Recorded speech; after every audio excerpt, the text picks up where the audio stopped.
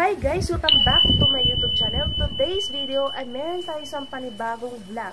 So, bago ko simula ng vlog na yun guys, ay intro muna tayo. So, intro, pasok!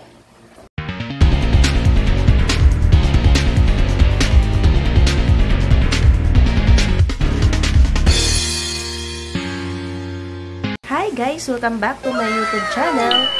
Today's video ay meron tayong panibagong vlog tungkol sa ating pampaganda ng ating mga buhok.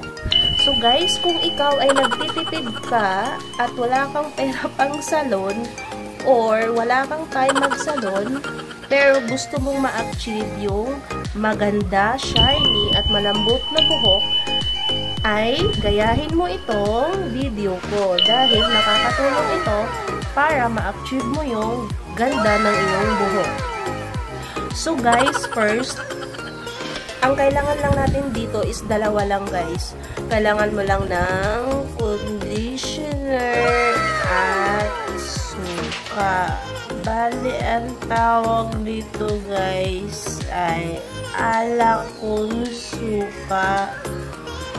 Kumbaga na tips para sa pampaganda ng ating buhok. So guys, first time ko lang din siyang gagawin ngayon at ipinlog ko siya. Titingnan ko kung ano magiging resulta niya or maganda ba ang result niya. Pero tong hair ko ngayon guys, hindi ko pa siya nalagyan. So bale, tuyo pa to, hindi pa siya nabasa, hindi ko pa siya nalagyan ng ano, conditioner ala suka na ano na pampaganda, pampalambot ng buhok. Itatry ko pa lang siya guys kung talagang effective siya. Pero napanood ko naman sa ibang video na maganda yung resulta niya kaya gusto ko rin siyang gayahin. So guys, papakita ko sa inyo yung nagawa kong conditioner na hinaluan ko siya ng suka. So, ito na siya guys. Papakita ko sa inyo.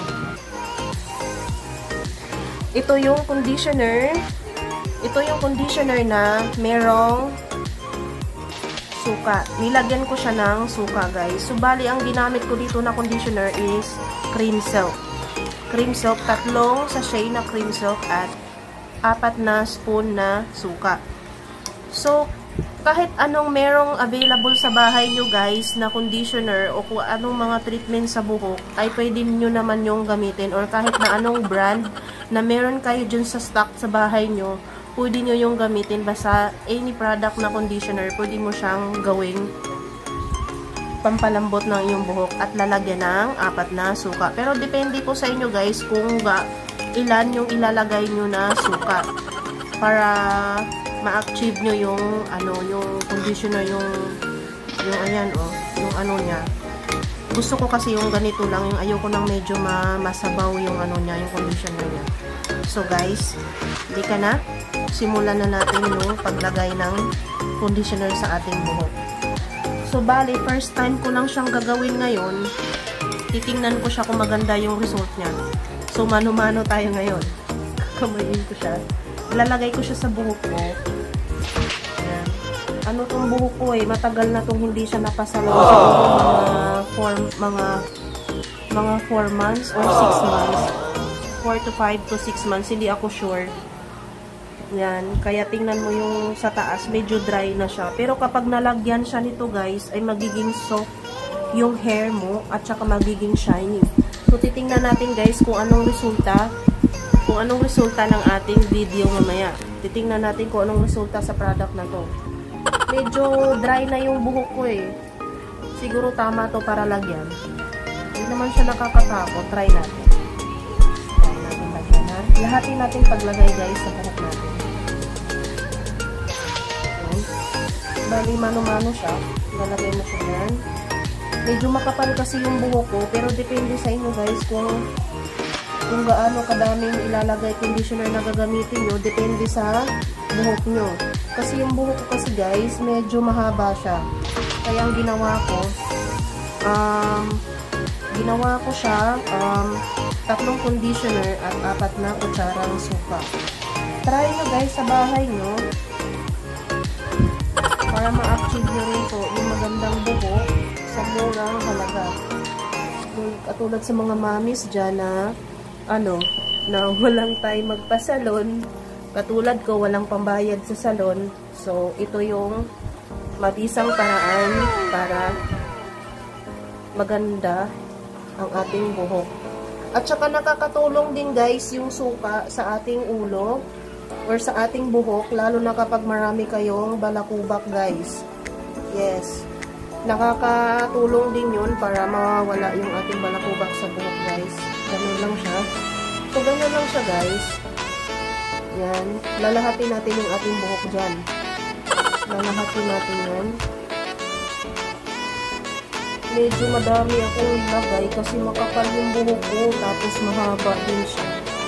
Medyo tiis-tiis lang kayo sa amoy guys kasi syempre maamoy nyo yung maamoy nyo yung suka dito. Pero nandun pa rin naman yung bango ng ano, bango ng conditioner. Dumidikit pa din sa ulo nyo. Nangingibabaw yung amoy ng conditioner tsaka yung sa suka. Medyo matapang pa. Pero, maganda naman yung result niya. Tingnan natin mamaya. Tingnan guys. Dito naman tayo sa kabilang side. Bali dito kung lagyan masyado kasi medyo dry yung dito ko yung mga baby hair ko na tumubo. Yan. Yan. Yung buhok ko kasi kapag ano yan. Yan nyo lang guys kung paano ko siya ginawa. Ayan oh. Medyo dito kasi yung bagong tubo niya kasi hindi ko pa siya napasalon ulit dahil wala tayong pang salon. Lalo na ngayon, wala tayong wala tayong pang salon, wala tayong pang rata. dito din sa dulo, lalo na yung mga sa dulo, lalo na yung sa mga split ends, nakakatulong din siya para gumanda yung tubo ng buhok. Yan. Yan. Try nyo guys, hindi naman siya masamang subukan. Tingnan natin kung anong resulta ng ating conditioner ala suka. Yan guys. Yung dulo ng hair ko, Mamaya guys, after nito, papakita ko sa inyo yung result kung maganda yung conditioner ala suka. No? Hair treatment. Marami akong nakikitang nagaganito guys. Maganda talaga yung result sa buhok nila. Nagiging shiny yung hair nila. Yan. Shiny yung sa dulo guys kasi mahaba yung buhok ko eh. Medyo makapal pa. Yan. Try nyo guys para lumambot yung inyong mga. At ma-achieve natin yung ating pampaganda. Char. Yan. Siguro lang, magkano lang yung nagastos ko dito. Tatlong sachet na conditioner tapos apat na kutsarang suka. So, magkano ba? SRP ng conditioner. Um, binili ko lang siya sa tindahan guys. Kasi yung gamit no, no, kasi, no, no. ano, um, pang sa buhok.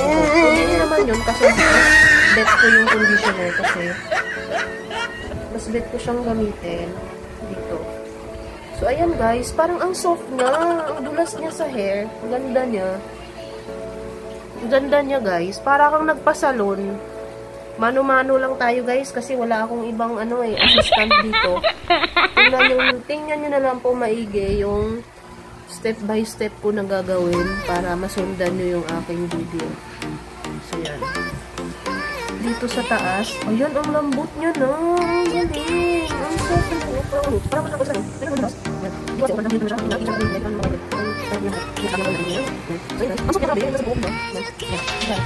niya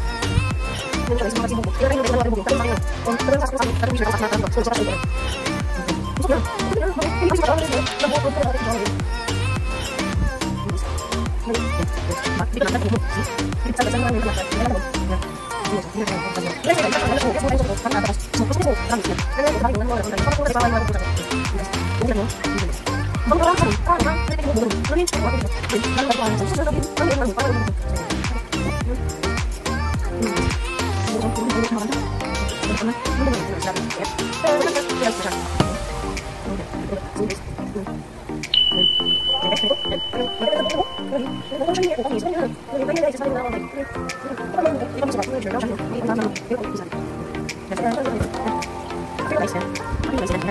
ko na lahat yung conditioner.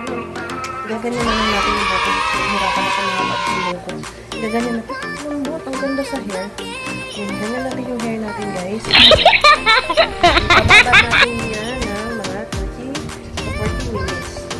So, kayo guys, kung meron kayong shower cup, pwede nyo yan lagyan ng shower cup yung ulo nyo. Ganyan. Dahil ako ay walang shower cup, mano-mano tayo ngayon. So, No, no, no, no. Kayong shower cup guys, pwede naman plastic. Kung wala kayong shower cup sa bahay, pwede naman ito ilagay mo. Lalagyan natin ng shower cup yung ulo natin. Yan.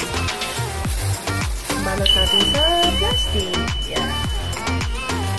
Para-paraan. Char. Para-paraan guys. Diba? Ganoon naman tayo eh. Madiskarte tayo pag pagdating sa ano, sa kagandahan. Alam nyo yan. Kailangan madiskarte kapag nanay ka na. Madiskarte ka dapat. So, ayan guys.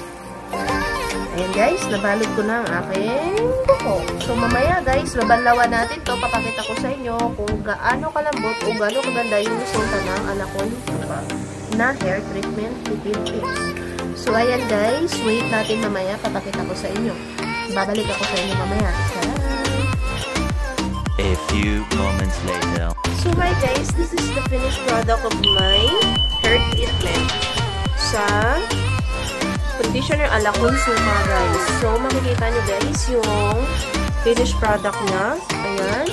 Ang lambot na ng aking hair. Mas lalo siyang lumambot at nagiging bagsak siya. At ang shiny niya guys. Ayan.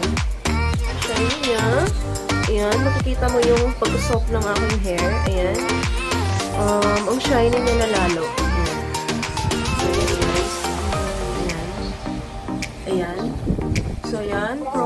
Tested siya, guys, sa murang halaga. So, kung ikaw, kung gusto mo pang magpasalon, pero kaya mo namang i-remedy sa loob ng inyong bahay, bakit kailangan mo pang magpasalon at magbayad ng malaki? Kung kaya naman, sa murang tips lang. So, ayan guys, sa halagang 24 pesos, lumambot at naging shiny ulit ang aking buhok. So, ayan guys. Ayan. Ayan. Maganda siya. Smooth siya lalo. Ayan. Bagsak na bagsak hanggang sa sa baba guys. Ayan. Bagsak yung. So, guys. Ito na yung finished product ng ating buhok. So, ayan. So guys, kung ikaw ay bago pa lang sa aking channel at nagustuhan mo ang aking mga videos, huwag mong kalimutang mag-like, mag-sub at hit ang notification bell para updated ka sa aking mga upcoming videos. So guys, thank you for watching my videos. Hope you like. See you on the next vlog. Bye!